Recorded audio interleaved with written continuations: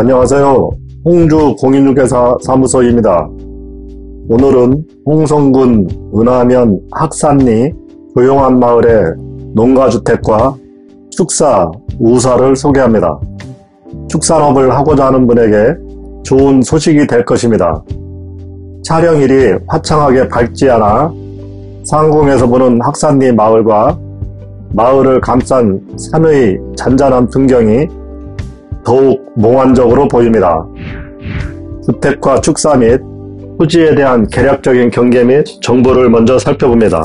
계획관리지역과 생산관리지역이 혼재한 곳의 지목, 대, 답, 임야 전체 5필지 토지로 전체 면적 5,106제곱미터 약 1,545평인데 대지는 1,174제곱미터 약 355평 두 필지 각각 638제곱미터 약 193평 536제곱미터 약 162평입니다.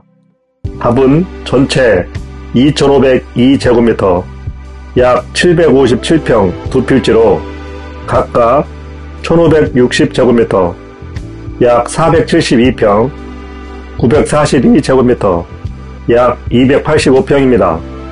임야는 1430제곱미터 약 433평 한 필지입니다.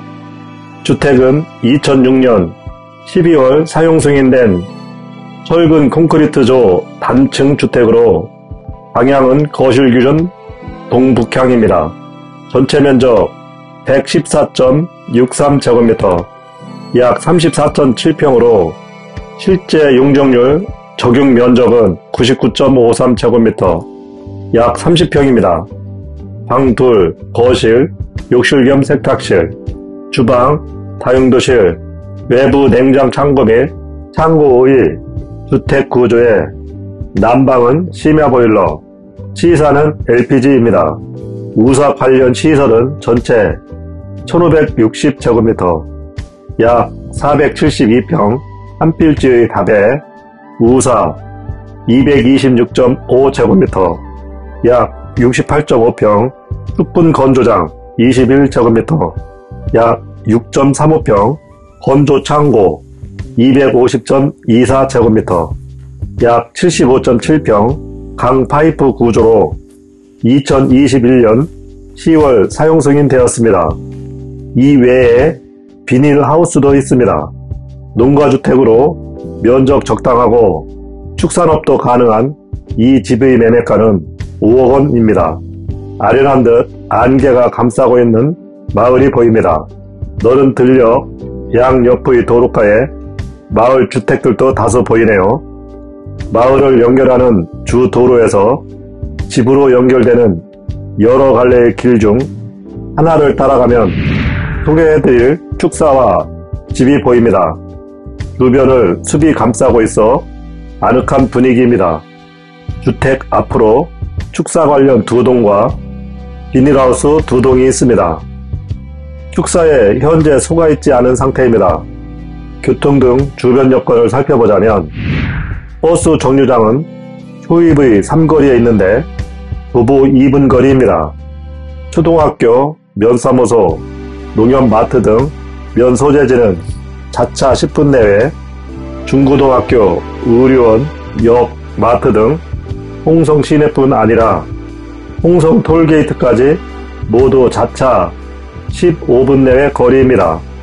인근 임야에는 150m 이내 산소 다수 있습니다. 이제 지상에서 주택으로 다가가 보겠습니다. 주택으로 접근하는 도로는 폭 3m 정도입니다. 길을 따라가다 보면 처음으로 보이는 시설물은 예전에 살던 구옥이라고 하는데 지금은 정리가 필요한 상태입니다. 그 옆으로는 축사 관련 시설이 있는데요. 현재 손은 없습니다.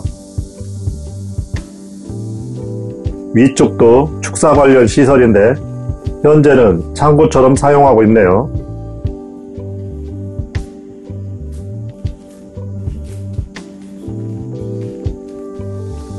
집 앞에 두 개 동의 비닐하우스가 있는데 넓은 비닐하우스 안에는 건조기 시설을 해 놓았습니다.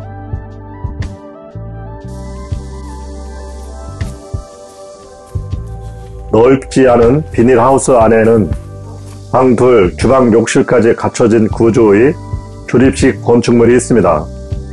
하우스는 현 주인이 작업실로 사용되고 있습니다.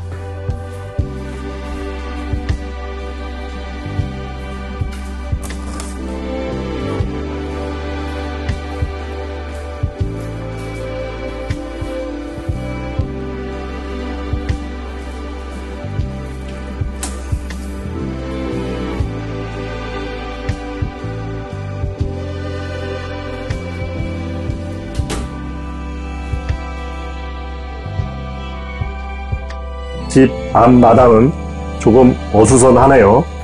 손길만 준다면 정리하기는 어렵지 않을 것입니다.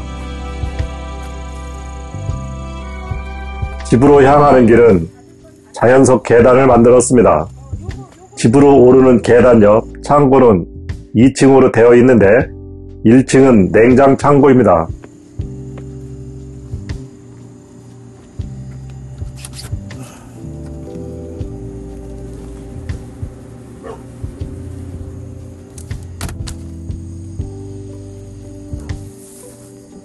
집 옆 옥상으로 오르는 계단 아래는 보일러실입니다.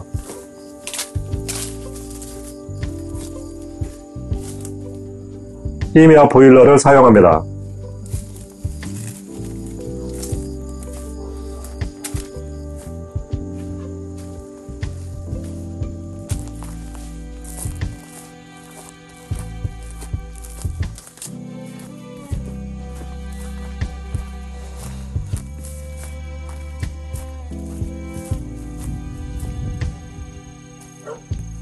후면으로 가니 내부 발코니와 연결된 계단이 보이네요.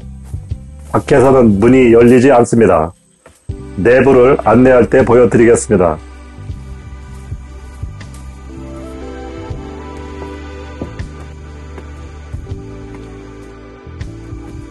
전면 계단을 오르면 발코니입니다.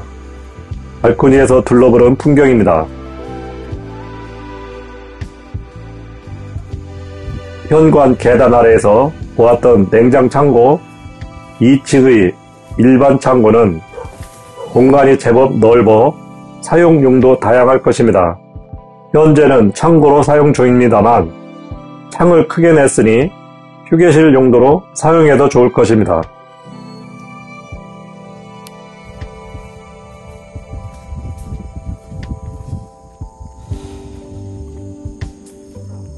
옥상으로 오르면 미완의 설치물이 두 개 보이는데요. 집 내부와 연결하기 위한 것이었던 듯 한데 현재는 사용하지 않고 있습니다. 이 또한 필요하다면 취향껏 연결해서 써도 될 것입니다. 옥상에서 보니 주변의 푸른 숲이 더욱 잘 보이네요. 이제 집 내부로 들어가 볼까요? 현관, 천장이 높네요. 오른쪽에 수납장, 왼쪽에 신발장이 있습니다. 슬라이딩 도어를 열면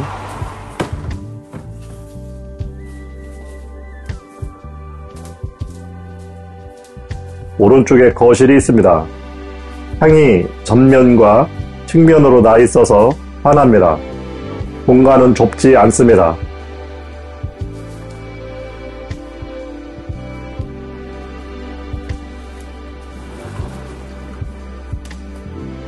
자녀가 사용하는 방입니다. 이곳도 두 곳에 창을 내서 어둡지 않습니다. 등을 켜지 않았는데도 환하네요. 현관 왼쪽의 안방입니다. 역시 두 곳에 창을 냈습니다. 화기장이 설치되어 있습니다.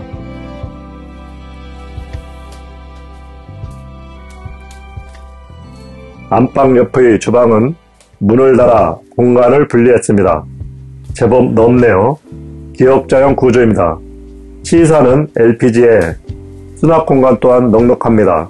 냉장고와 김치 냉장고 등 살림살이가 꽤 있음에도 전체 공간이 여유롭습니다.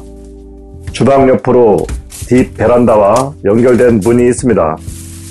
해시를 설치해서 내부 공간화하였는데 꽤 넓지요. 브루드로 사용하기 좋은 공간입니다.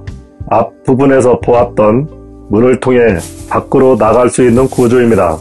주방과 자녀의 방 사이에 있는 욕실입니다. 세탁기가 들어와 있는데도 공간이 좁지 않습니다. 사선으로 되어 있는 벽은 옥상에서 보았던 설치물과 연결되는 계단입니다. 필요하다면 연결해서 사용하면 될 것입니다. 전체적으로 창이 많아 남향이 아님에도 빛이 가득 찬 집입니다. 축산업을 하고 싶지만 새로 허가받는 것에 어려움을 느끼는 분에게 추천합니다. 현재 집 주인은 가족이 많지 않아 1층만 사용 중이라고 하였는데 집 내부에 옥상과 연결되는 계단을 살려두었으니 좀 더 공간이 필요하다면 옥상을 활용해도 좋을 것입니다. 축산업을 위한 기농하고자 한다면 이 물건을 눈여겨봐 주세요. 고맙습니다.